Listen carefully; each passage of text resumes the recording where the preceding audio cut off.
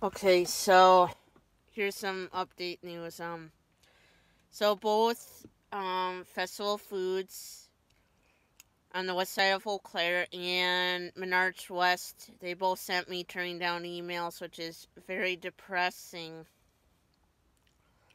Because I really do need a, a different job right now, other than Dollar Tree.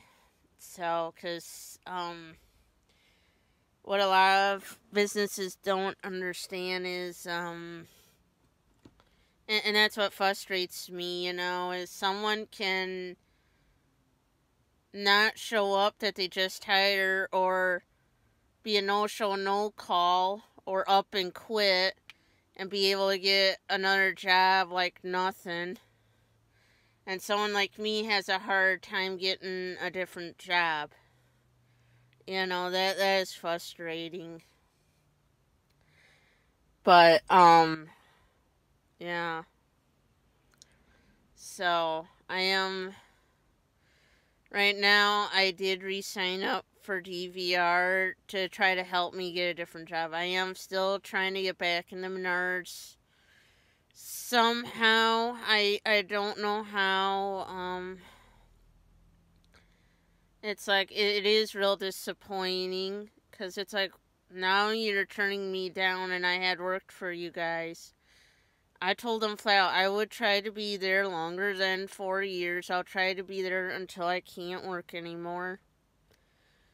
But what what can I do, you know?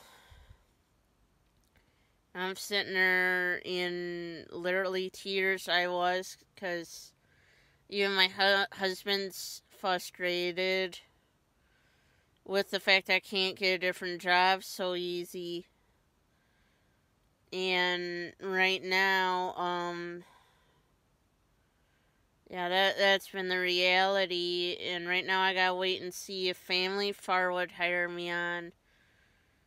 But yeah, I still gotta apply at other places. But through Indeed, since Hy-Vee's did got in contact with me, just they wanted me to apply for a job and schedule an interview. Well, um, I had to tell them I already interviewed for the job on August 2nd, and you guys um, had told me that two weeks from August 2nd, I've heard something from you guys about a job, and I haven't heard hide or hair. So, I I don't know. So right now, that's been the scary thing. Is it's like I need a different job, but it's like what what do you do? So I I, I just don't know. Yeah. And it's at some of these places say, oh, we need help so bad, but then here they turn someone like you that would bust your ass, show up no matter what, and um,